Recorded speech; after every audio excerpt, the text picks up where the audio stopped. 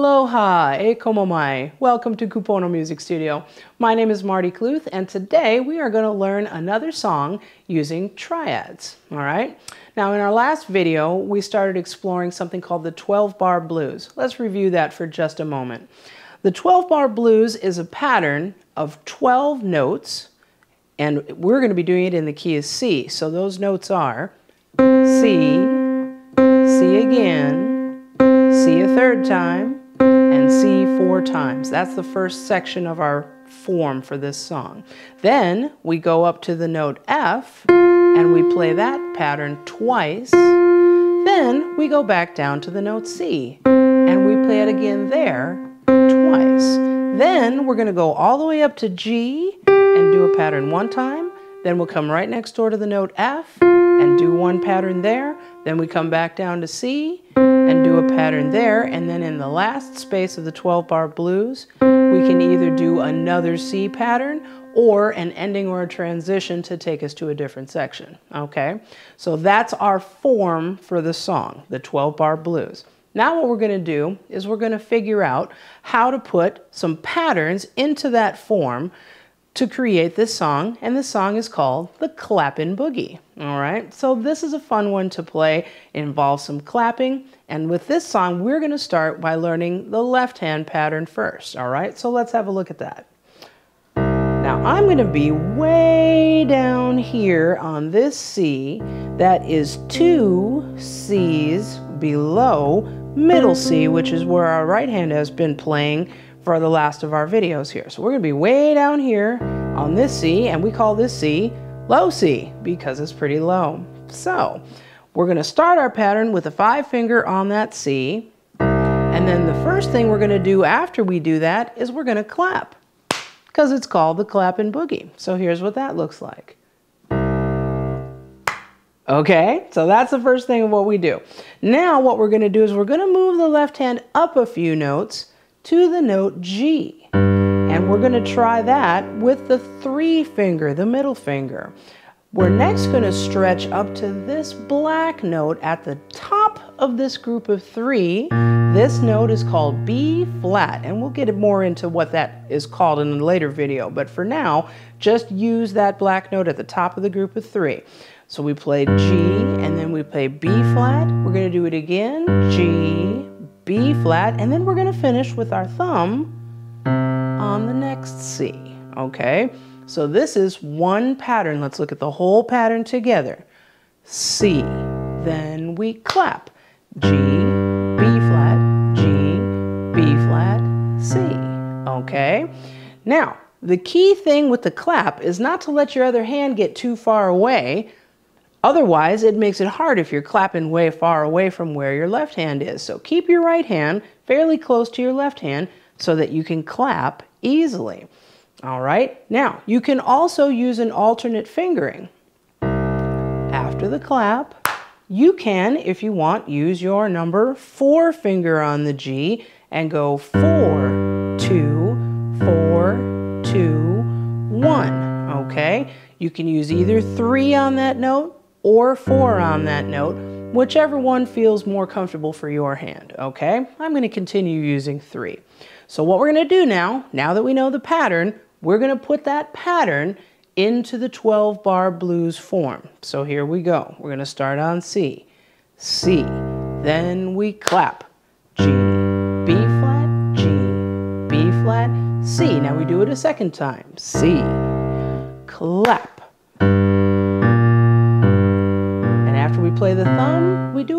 Third time. Clap.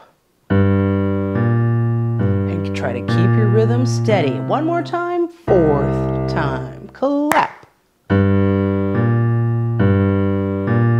There we go. Now that we've done it four times, we're going to take our pinky up and we're going to move it to the note F.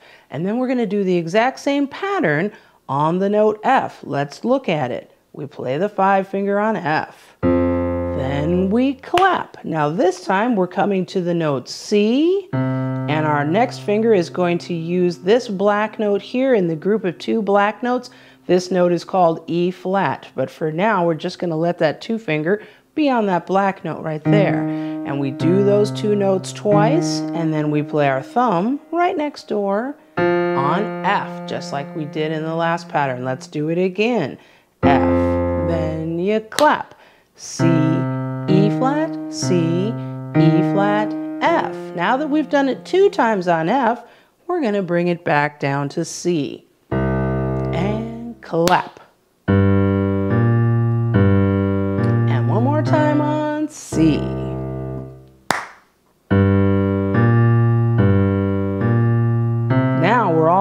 To the third line of our pattern. We're going to move our left hand five finger up to the note G and we're going to play the pattern on G and then we clap. We're going to bring our three finger all the way up to the note D and this time when we stretch out our two finger, we're going to use another white note. So no black notes in the G pattern. We're going to play D and F twice.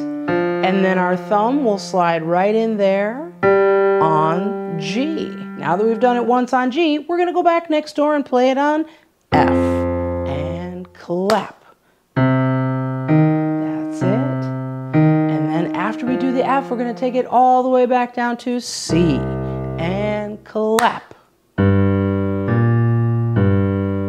Now in this last space, we're going to do a transition. We're going to play that C, we're going to clap three times. Clap, clap, clap. Okay? That is the full form all the way through the 12 bar blues pattern in this clapping boogie. Okay, so now you try it. Pause the video and see if you can put this left hand pattern together and then restart when you're ready. Did you try it? Awesome. All right, let's get on to the next variation of this pattern, okay? So for the first section, we clapped one time. For the second section, we're gonna learn how to clap two times, all right? So we gotta clap a little faster.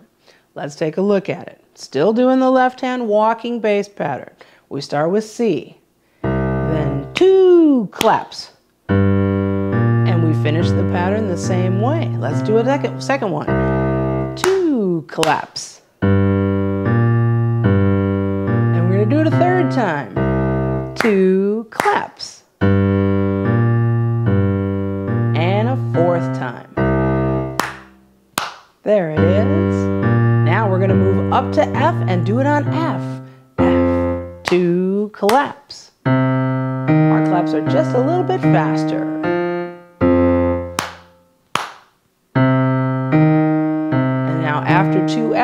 Going back to C. And try to keep your rhythm very steady while you play. All right, now we're to the last line of the blues form, so that means it's G, two claps. But then we're going right next door to F. And finally, back to C.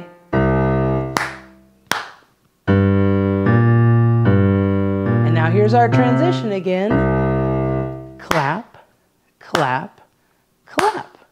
There it is, okay? So that's the second variation in the clapping boogie, all right? Now you try it. Pause the video and see if you can fit two claps into that pattern. Restart when you're ready. Did you try it? Awesome. All right, now let's add some chords to this because we said at the beginning that what we were going to do is we were going to add some triads to this. So now what we're going to do is we're going to do that. We're going to add the triads in the right hand. So let's take a look at the right hand for a moment. Now the right hand is right here on middle C, all right, in the usual location with one finger per note. We're going to play our chord right there with the one finger the three finger and the five finger all at the same time to create our chord as we learned in a previous video. Now, the way that we fit triads into this song is we play a very simple pattern of long, short, short. That's all you do. You can say it while you play it. Long, short, short. Okay? Now, what we're going to do is we're going to insert these chords into the left hand pattern in the place where the clapping goes. All right? So the first variation, we played the first note and then we did one clap. Second variation, we did two claps. Third variation, we're going to do triads in the right hand instead of claps, okay? So we're going to start with the C chord and we're going to play it at the exact same time as we play our five finger in the left hand. So it'll go like this. Long, short, short. And then we just finish that left hand pattern like we've done every other time. Let's do it again. Long, short, short. Here's a third time. And of course, we're going to do it a fourth time. Okay, now here's the part where we move up to F. So the left hand moves up to F and the right hand thumb moves to F2 and we continue with the same pattern.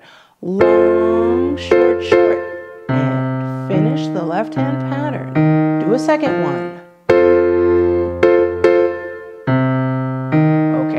Right here, what are we gonna do? Transition back down to C And we just keep that long, short, short pattern in the right hand. Do a second C.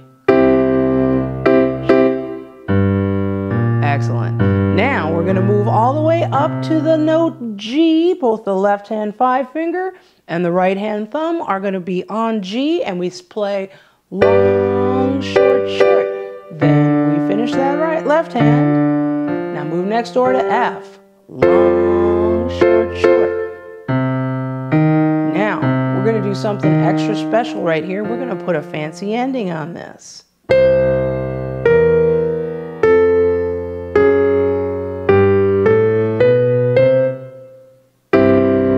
Okay, so what was that? That was nothing like what we've done previously. So let's learn how to do this ending. We're going to look at the left hand first. So the left hand had just done a pattern on G, a pattern on F, so we're coming back to C for our ending, we're going to play that C and then we're going to stretch our four finger up a note to E, but then next finger goes on the very next note F, next finger goes on the very next note F sharp, and then the thumb is here on G, but we want to continue all the way up to the C that's three more notes. So we're going to cross over with our three finger onto the next note A and play three, two, one. Okay, then we're going to come back down to C and play a pinky on five finger and a one finger at the same time. Take a look at the entire left hand pattern. Stretch the four, then three, then two, then one, Cross over, three, two, one, leap back down, and play the five and the one together. That's the left hand. Now let's get the right hand. Let's have a look at the right hand. Now right hand just did long, short, short on the G. It moved next door and did long, short, short on the F. And where that left us was it left us with our five finger on the note C. So we're actually going to leave our, our right hand right there. We're going to start with that five finger in the right hand, and then we're going to do the same thing you did in the left hand. We're going to stretch that four finger, but we don't have to stretch it as far. We're only going to stretch it to this black note B flat. Then we're going to do the same thing. We're going to sneak in on the very next note A. Then we're going to sneak right next door on the very next note G sharp. And then our thumb is going to be right next door on the very next note G. But once we get there, we can just walk up to C. Just like that. And then what we do is we're going to leap back down to the middle C position and play a standard chord right there. So here's what the right hand looks like all together. Five, stretch the four. Now right next door, right next door, right next door, walk up to C and chord. All right. The last thing we have to do is we got to figure out how to put them together. Let's figure out how to put them together. The nice thing about this ending is that they use the exact same finger numbers at the same time. So we're going to start with five on low C and five up here on what we call treble C, and we're going to walk towards each other.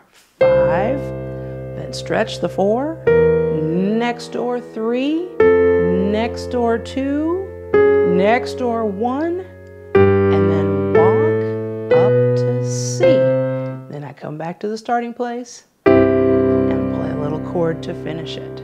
All right?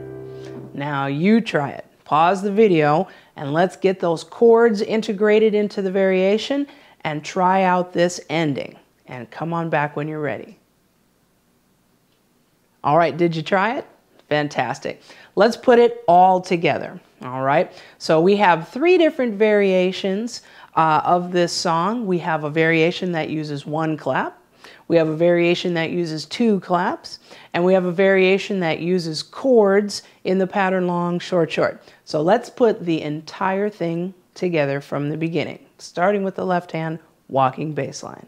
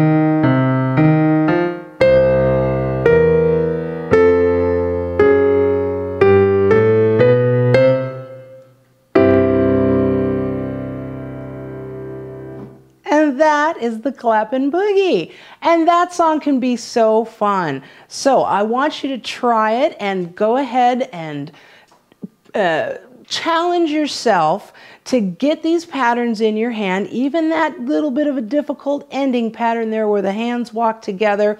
Just keep trying it and get the patterns in your hand. And then as you find that you get the patterns in your hand and you're more comfortable playing it, challenge yourself to push your speed a little faster so that you know you can get a little bit of a different sound on it. Let me show you what that sounds like when we play it a little faster.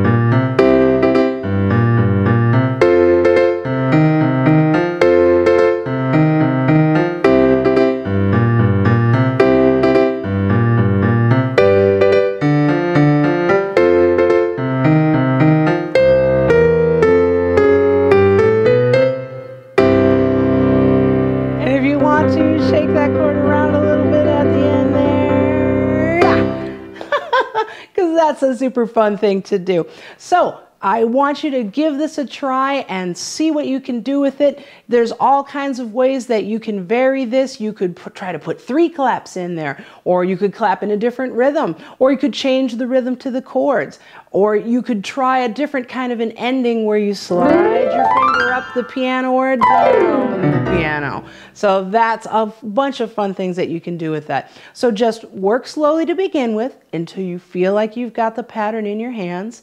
And then once you've got the pattern in your hands, push yourself to do it faster and have a lot of fun with this song.